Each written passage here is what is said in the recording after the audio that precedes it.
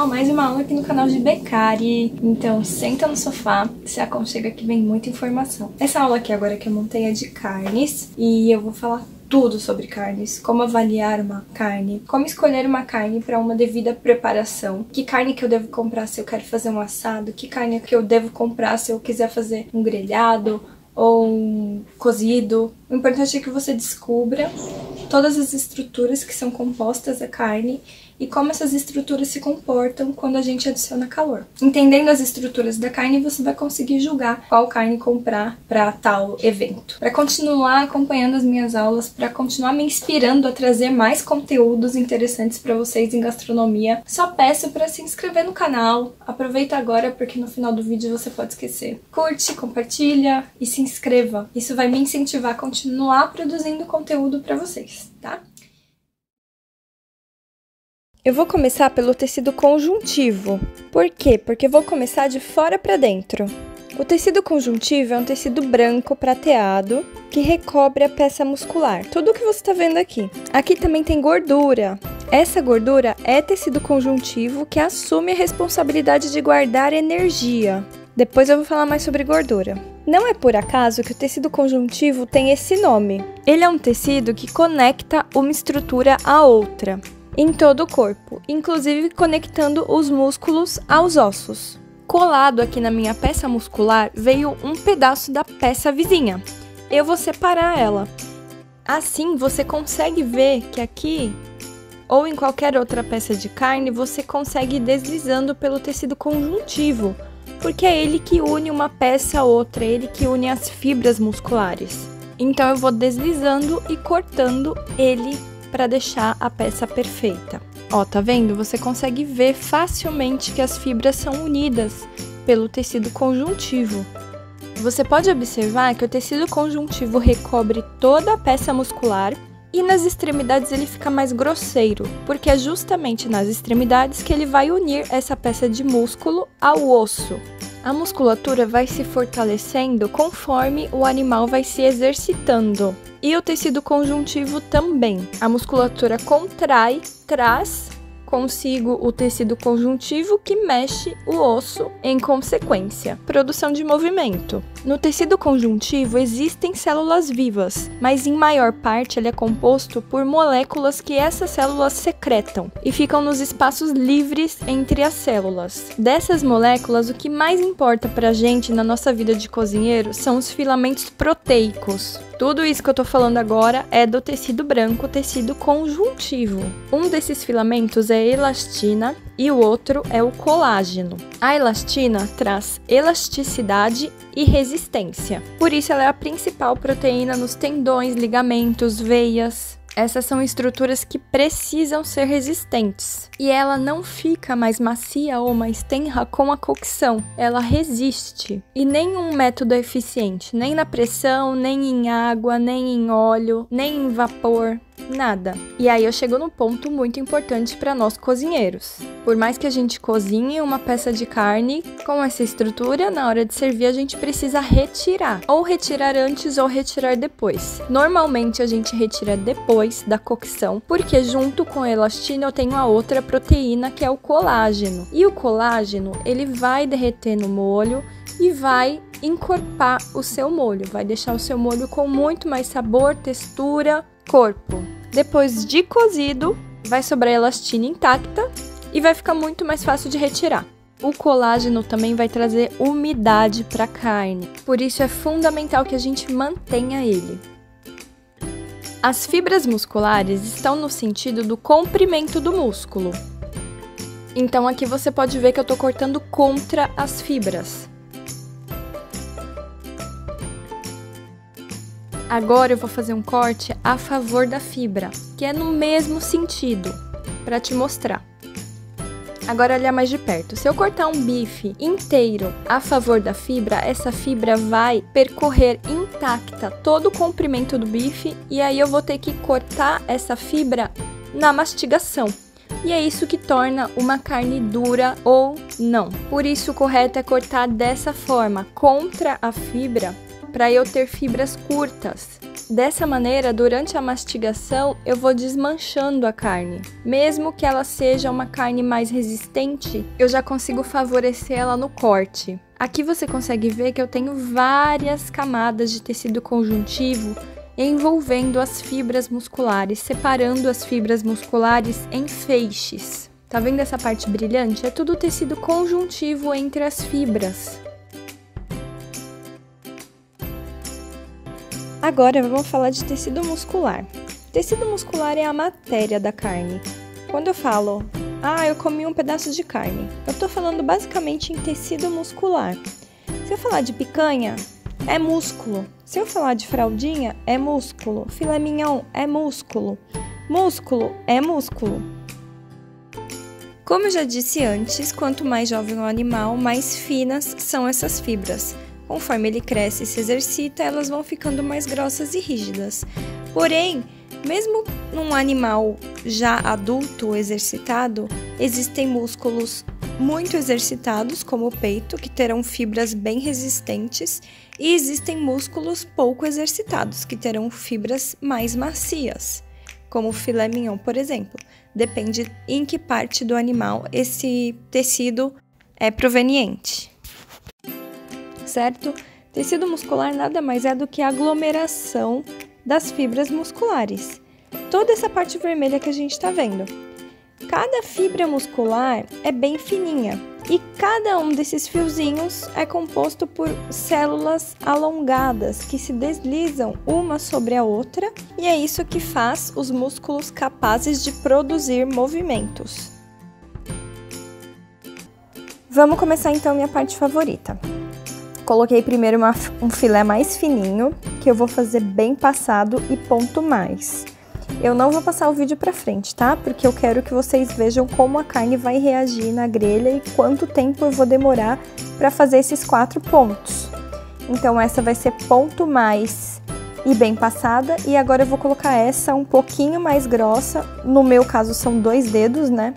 Cada um sabe o tamanho do próprio dedo. E aí eu vou colocar ela aqui, coloquei um pouquinho depois, uns 30 segundos depois, e vamos acompanhar. Pessoal, como vocês podem ver aqui, eu tenho diferentes alturas nessas duas carnes. Por isso eu vou fazer quatro pontos em dois filés. Como eu falei no início do vídeo, a gordura também é um tecido conjuntivo que assume a responsabilidade de guardar energia. Então o animal come ele vai digerir esse alimento e o corpo vai reservar essa energia do alimento que ele comeu em forma de gordura em alguns lugares estratégicos, como por exemplo logo abaixo da pele, porque além de estoque de energia para o corpo, ela também funciona como isolamento térmico. A gordura também é armazenada recobrindo alguns tecidos musculares, como no caso do contrafilé ou entre os feixes musculares que são as carnes mais fantásticas que eu já comi, que são as carnes marmorizadas. Se você curte carne, vale muito a pena estudar mais sobre o assunto e provar, claro, elas são incríveis. E o último ponto de armazenamento de gordura é dentro da cavidade, próximo de alguns órgãos, como rim, coração, intestinos. Essa já não é tão interessante pra gente. Ponto importante é não mexer na carne. Eu não posso ficar virando, porque senão eu vou baixando a temperatura de cada lado e ela vai cozinhando e não sela. O selar a carne é o seguinte: eu coloco a carne na grelha e deixo, porque essa alta temperatura constante vai fazer com que o suco da carne suba para o centro.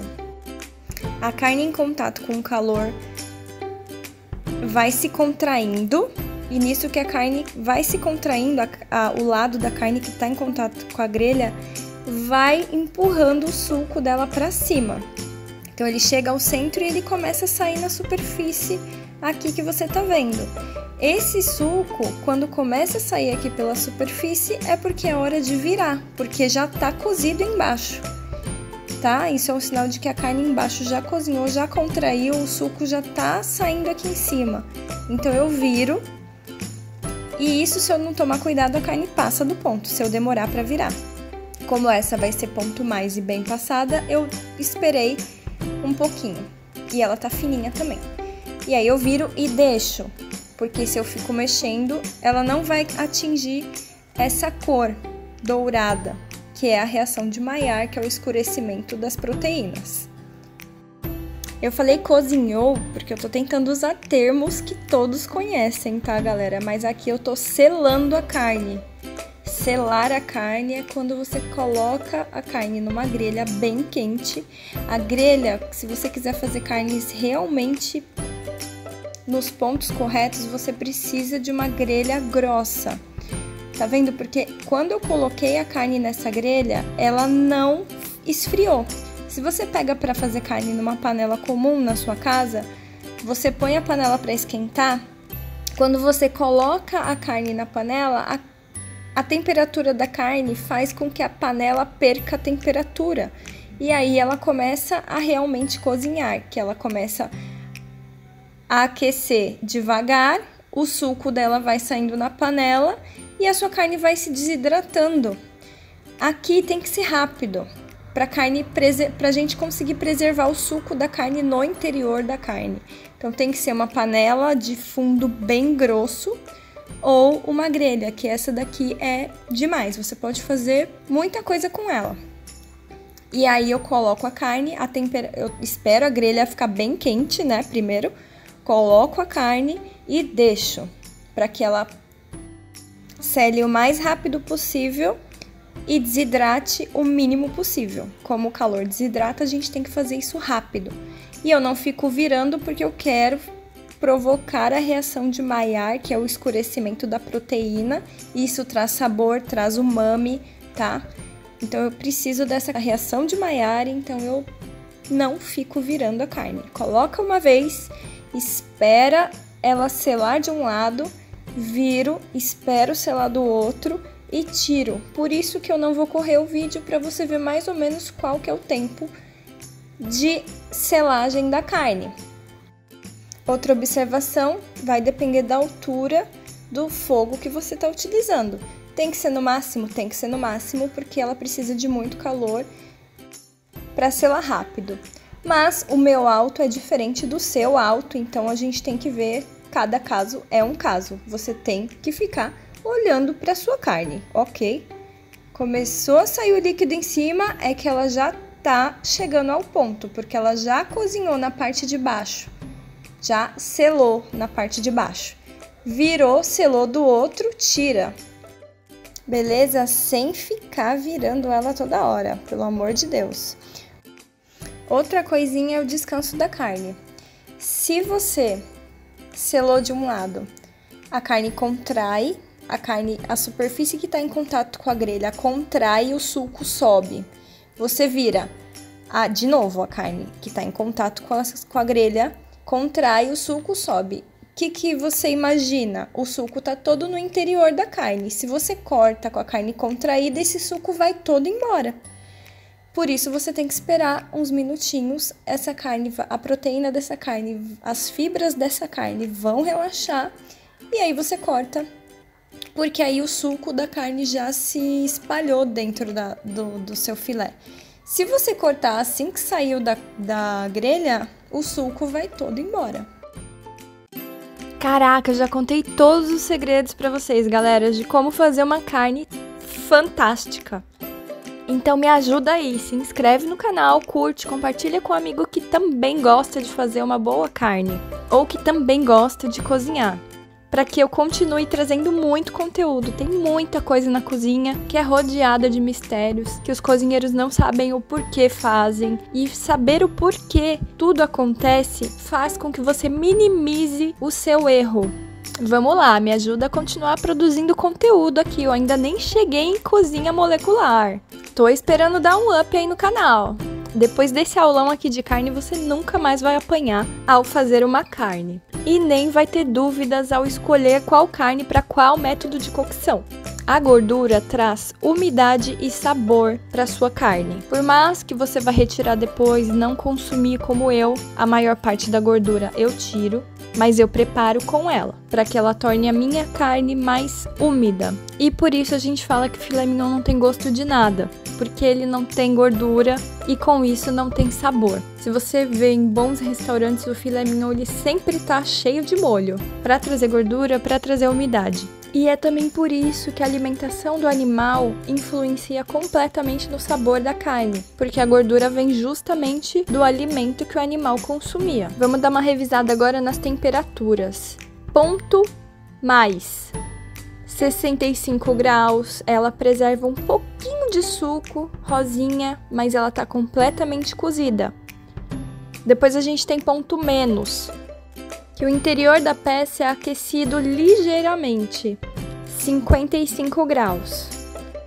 Ao ponto, 60 graus mais ou menos, o calor atinge toda a peça, ela permanece toda rosada, com bastante suco e bem macia. Bem passada é 75 graus, completamente assada. O vídeo de hoje termina por aqui, espero que você tenha curtido. Não se esquece de se inscrever no canal, curte, compartilha, me ajuda a manter esse projeto. Com muita consciência, com muita informação. Te vejo no próximo vídeo aqui no mesmo canal, aqui na mesma cozinha. Tchau, tchau!